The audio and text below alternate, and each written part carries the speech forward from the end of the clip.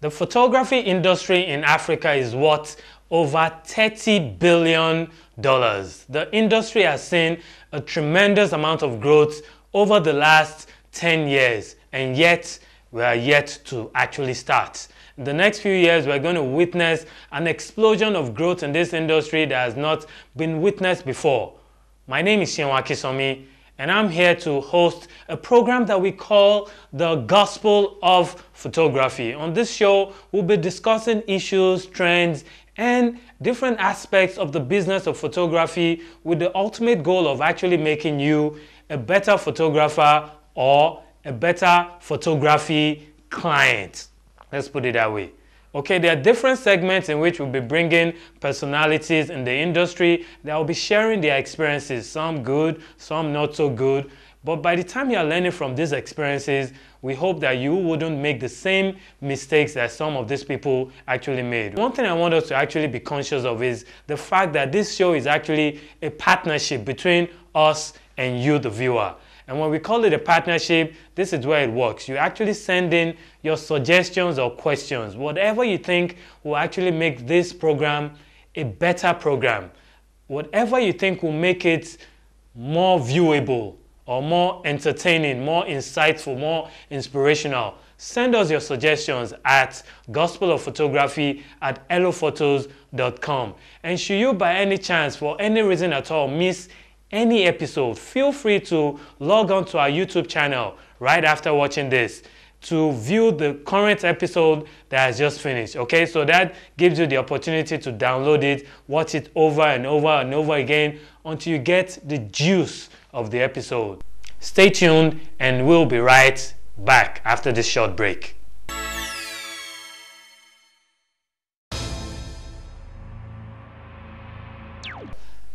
Welcome back. At this junction, I feel it is important we actually try to break down the different segments that we have for this show so that you have an idea of what this program, the Gospel of Photography, is all about. For every episode that we bring your way, there is going to be a topic that we'll attempt to address. Maybe somebody send me a particular issue in which they are having with a wedding client, or even is the wedding client that sends me an issue that they have with a photographer, this might be the basis of the topic that we'll discuss. Okay, and then we'll move from that to what we call the photo news. In this segment, you'll be learning about news in the industry, news that you as a photographer would definitely benefit from. For example, did you know that Canon just released their highest megapixel image sensor SLR ever. That's the Canon 5DS. It's actually important to know, especially if you are a portrait or wedding photographer. So under this segment, Photo News will be sharing, you know, stuff like that. There's also another segment we call the Photo of the Week. And this is quite interesting. This is where you actually get to send in all your favorite pictures. And we get to choose the pictures that we feel has this wow effect and then we showcase it okay? So go through all your archives through your phone and regardless of how funny or seemingly stupid the picture is send it. And if it you know doesn't come up as one of the photo of the week we still get to feature it on our facebook page anyways the next segment, which I feel is quite interesting, is actually called the questions and answers segment. I'm sensing that this will be one of the biggest segments of the show because this is where you get to send in your questions, any questions whatsoever, as long as it is related to photography. Okay? We've had people ask questions like what camera should I buy? What dress should I wear when I'm going to cover an event?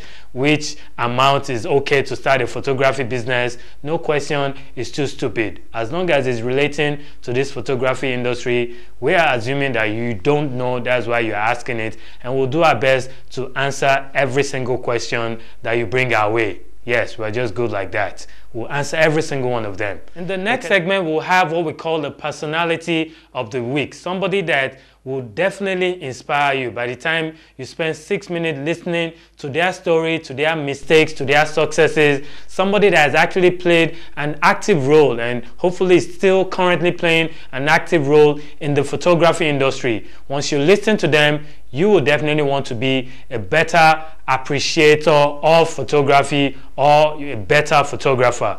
The final segment is just a very short segment where we actually recommend either a website or an Instagram page that we think you know you guys really need to check out. For example, the first Instagram page we'll be recommending for this first episode is I don't want to let the cat out of the bag yet. Just stay tuned and we'll be right back.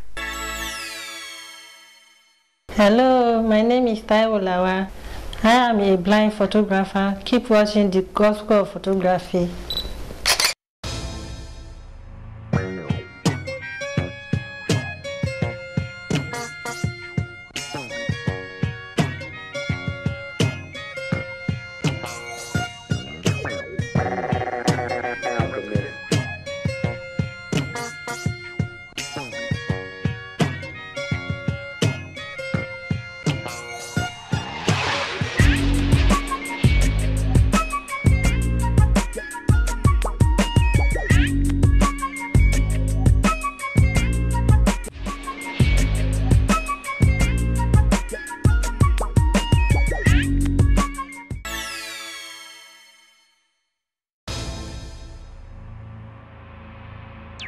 Welcome back. Perhaps I should give us a very brief introduction as to how I got into photography in the first place. You see, I actually didn't plan to be a photographer. I started out wanting to be an accountant. An accountant because my dad was an accountant and he was my number one role model. But fast forward to my university days when in year three, I remember taking this class, financial accounting, and the class was so tough that I eventually discovered that perhaps this accounting thing wasn't for me. A year earlier, my mom had come visiting, and my university was actually a school in America. That's the Southern Illinois University at Edwardsville. My mom came visiting and asked me an interesting question. She asked, you know, What do you want for a Christmas gift? I remember telling her a camera, and I remember getting my first Samsung film camera. I still have that camera today, though it's not working. I'm hoping that it will be worth something, you know, a few years down the line. But eventually I discovered that photography became a hobby of mine. That was 1998 December. Eventually I finished my accounting degree, came back to Nigeria, and I could clearly remember that day that I sat down in a meeting with my dad. Come to think of it, I actually didn't sit down. I stood up. He was sitting down. And it was a scenario in which the destiny of my life was about to be determined.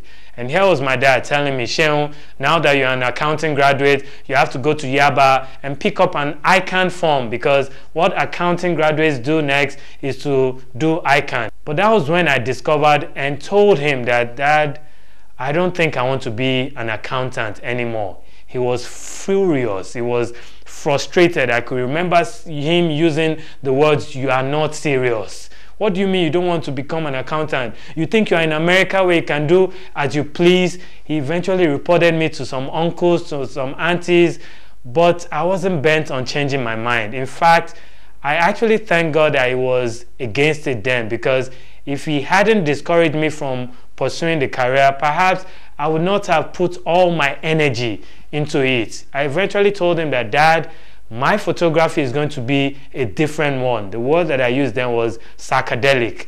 And because he didn't give me his support then, I made up my mind that whatever I would do in this photography industry, I would make a mark. 10 years later, my photography career is one that I have no regrets whatsoever about. In fact, my dad then, that was seemingly discouraging me then, has actually turned around and been one of the biggest investors we've had in our business. He's one of my number one supporters. And perhaps his you know, fears were actually justified because the photographers he knew in those days, and when we're talking about those days, we're talking about 10 years ago, the photographers he knew were actually poor people, in quotes. And so he was scared that, so you mean my son, after sending him to America, will end up a poor man? Eventually, I think I was able to cancel all his fears. Now I am someone I will call a professional photographer. And over the years, the experiences that I've gotten is interesting how many people have approached me to ask questions that I thought was simple, was a given, but they were asking because they didn't know. And for me, maybe what made matters was then was because there were really no mentors, no people to actually learn from. And that is one of the major reasons why we came up with a program like this to share with you that is just starting out in the industry or those of us that are currently in the industry and having some challenges to give you tips on how not to make the same mistakes that we made earlier in those days on how to make your photography business a more profitable business on how as a photographer to end up building your own house. Many photographers right now can't build a house or even buy a car with what they earn. We're about to take the whole industry to the next level. And that is the bottom foundation upon which the gospel of photography is built so it's not just also for the photographer, it's for the parent that thinks photography is nothing. It's for the client that think, ah, is it not just to take pictures? It's for the average person that this industry will be impacting.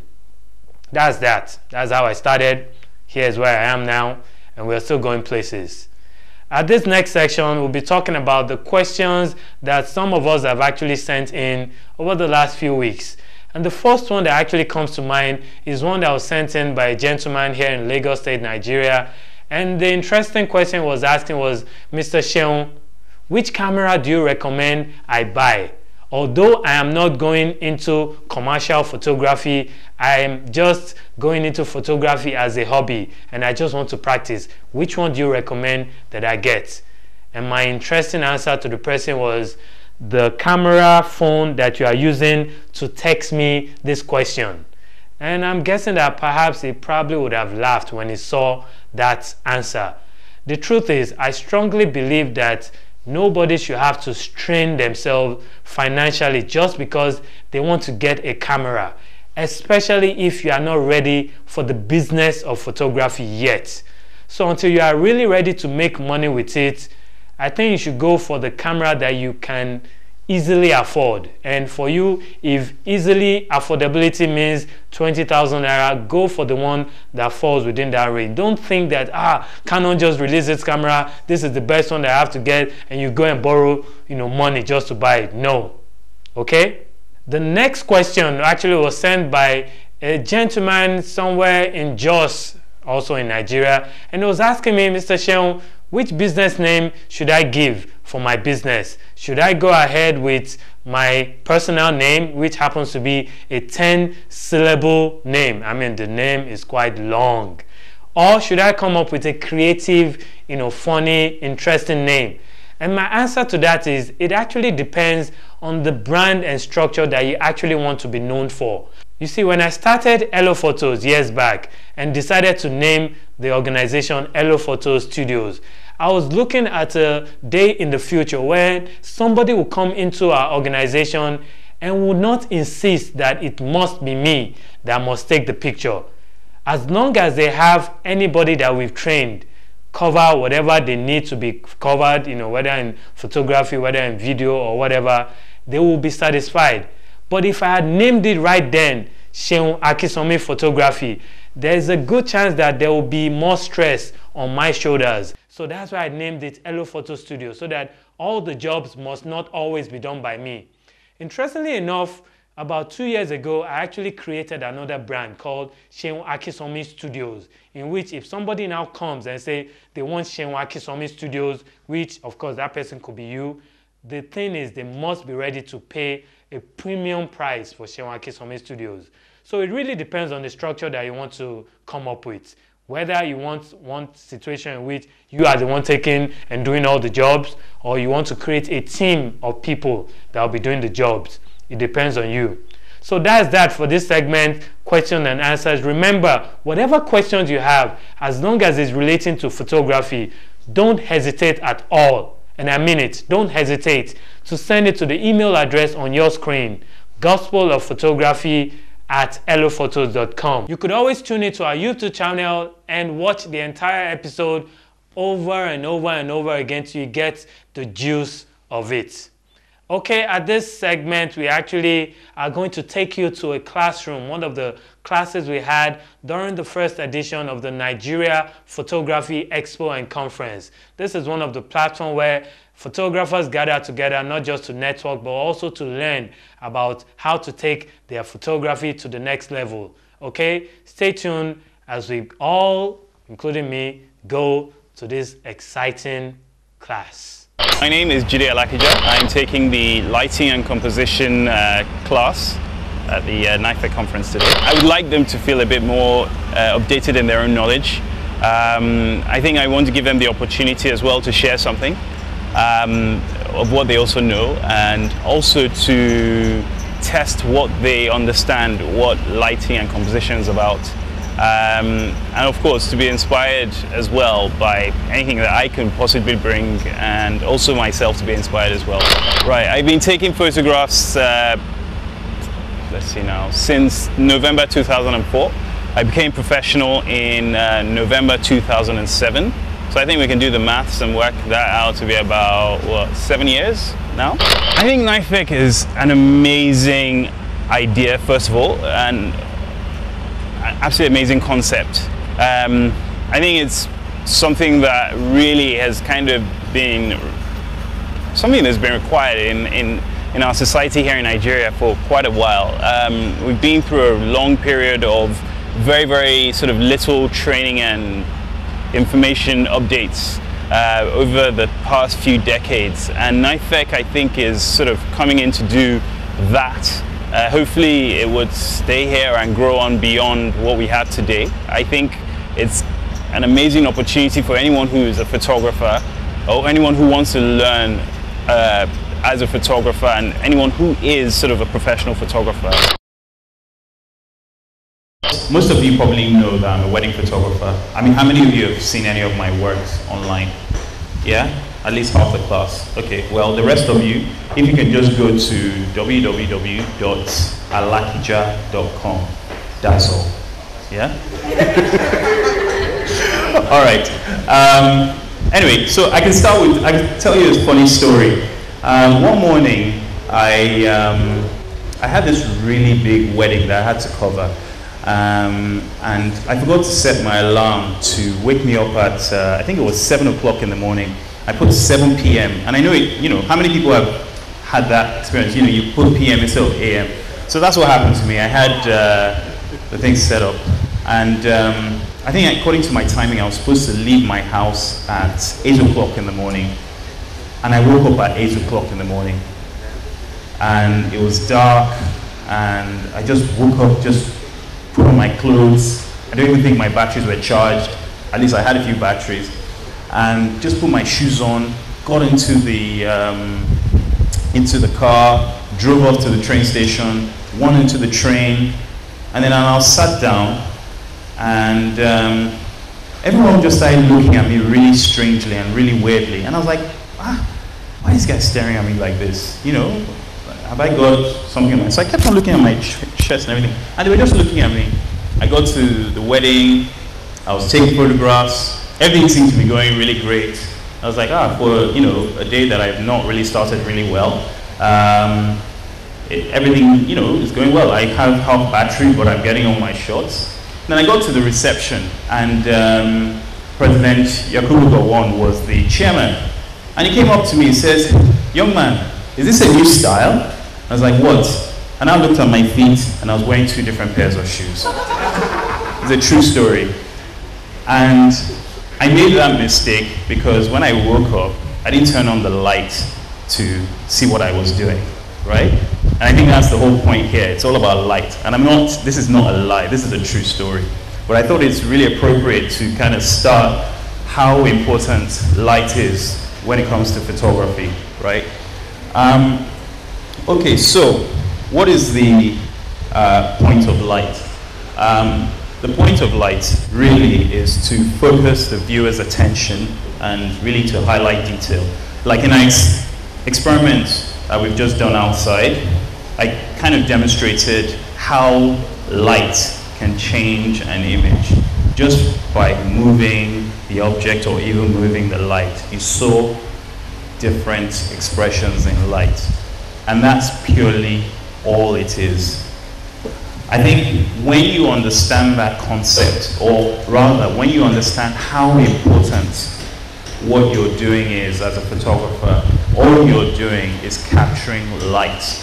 And you now have to see things in light.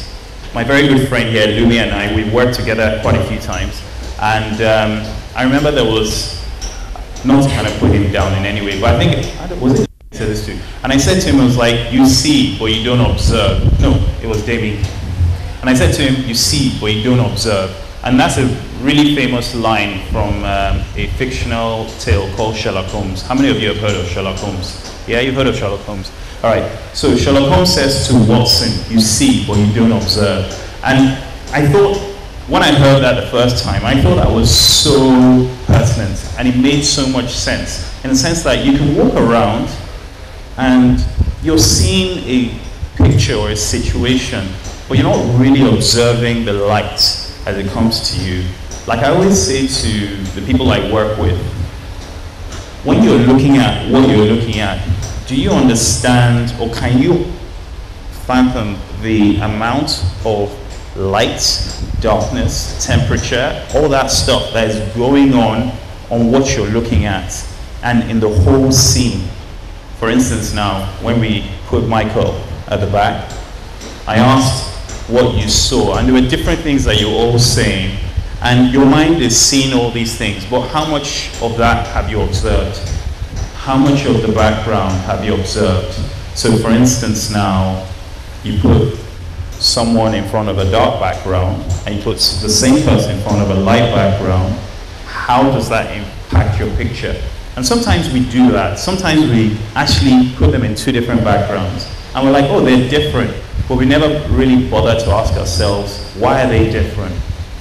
What looks better? What, what, what situations make a picture better? Um, I'm going to go even talk about even color, which is another form of light, right? Um, I remember saying to someone that if ever you're in doubt and you're doing a portrait of someone and you want it to be really striking, tell them to wear something red, right? And the person thought, why?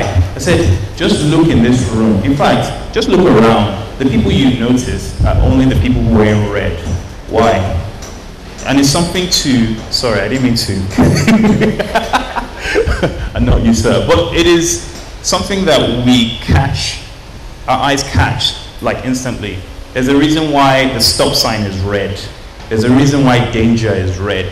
It's through the psychology and studies, they realize that red is the first thing that eyes catch onto, right?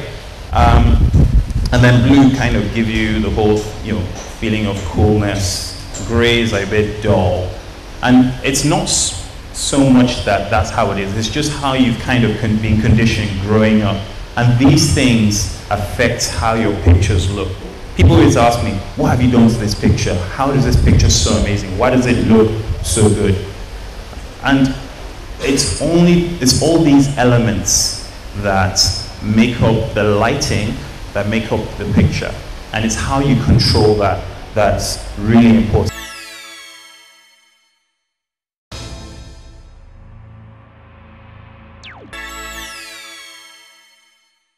Viewers, my name is Jide Jokodola. Keep watching The Gospel Photography.